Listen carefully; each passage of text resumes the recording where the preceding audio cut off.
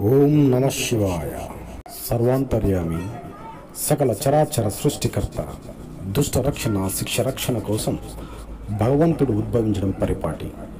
భక్త కన్నప్ప శ్రీయాలుడు వంటి భక్తాగ్రేసులకైనా అహంకారం దైవదూషణ విశ్వాసానికి పాటుపడే గర్వాంధులకు శిక్షించడానికి బుద్ధి తెప్పించడానికైనా పరమేశ్వరుడు ప్రత్యక్షమవ్వడం మనం వింటూనే ఉన్నాం.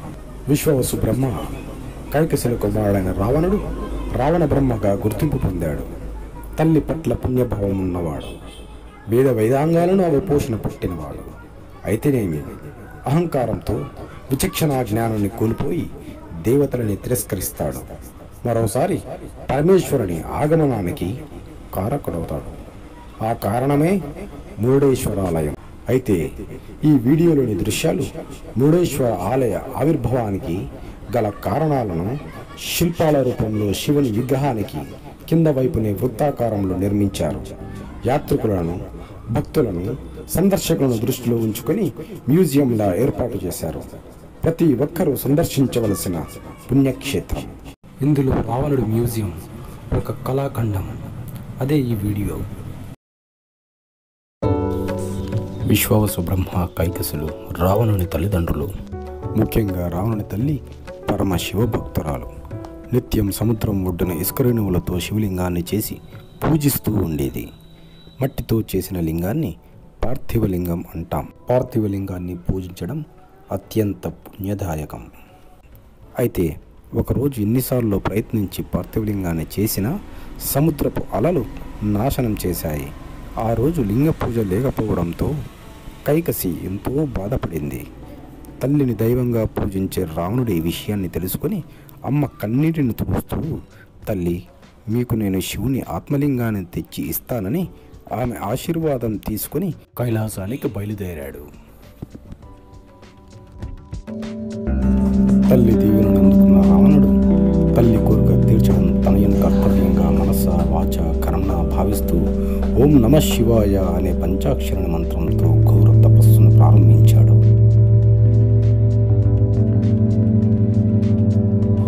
భూలోకంలో రావణుడి ఘోరమైన తపస్సును ఆశ్చర్యపడి దేవతలు నారదుడు విషయాన్ని వైకుంఠనాథుడైన శ్రీ మహావిష్ణువుతో మొరపెట్టుకుంటారిలా స్వామి భోలాశంకరుడైన మహాశివుడు రావణుని తపస్సును మెచ్చి వచ్చి ఆత్మలింగాన్ని అనుగ్రహిస్తే ఆ ఆత్మలింగాన్ని లంకా నగరంలో ప్రతిష్ఠిస్తే లోకాలకు విపరీత పరిణామాలు చోటు చేసుకుంటాయని అందరూ ఆ మహావిష్ణువుతో చెప్పుకుంటారు.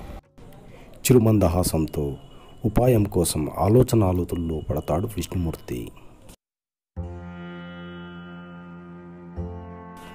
అమేయ బలపరాక్రమవంతుడు శివభక్తి తత్పరుడు పది తలల బుద్ధికు చెలుడు అయిన రావణుడు ఆత్మలింగం కోసం తపస్సుకు ఉపక్రమించాడు.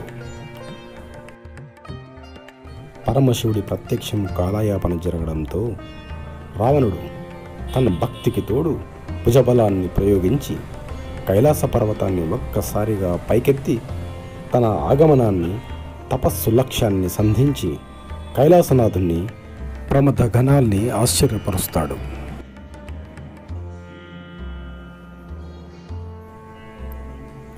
దేవతలందరూ దిగ్భ్రాంతికి లోనవుతారు.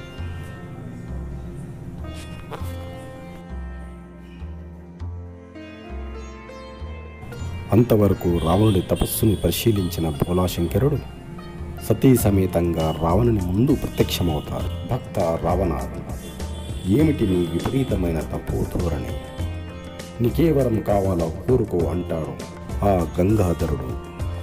మహావిష్ణువు మాయాజాలంలో పడ్డ రావణుడు పార్వతీదేవికి ఆకర్షితుడై ఆత్మలింగాన్ని మరచి ఇలా వరాన్ని అడుగుతాడు. దేవదేవ కైలాసవాస పార్వతిని అనుగ్రహించండి అంటాడు.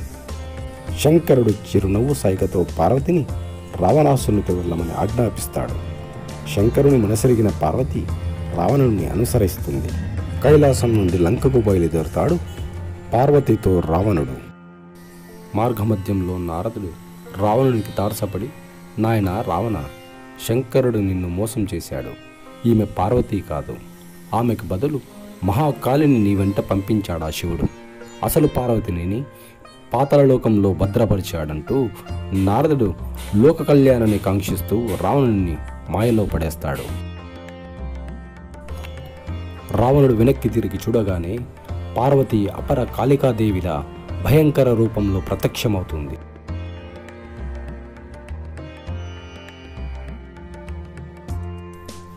నారదుని మాయను నిజమని నమ్మి దశకంఠుడు పాతాళలోకానికి బయలుదేరి అక్కడ ఉన్న మయుని కుమార్తె అయిన మండోదరిని పార్వతీగా భావించి మోహించి వివాహమాడుతాడు రావణుడు.